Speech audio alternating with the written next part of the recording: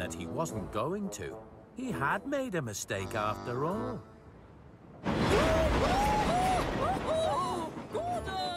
I say, slow down! Oh, dear me, yes! Slow down!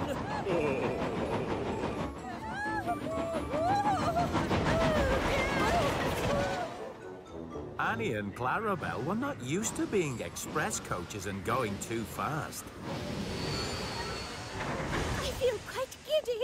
I'm amazed we got here in one piece. Oh, the... Samson, my coaches!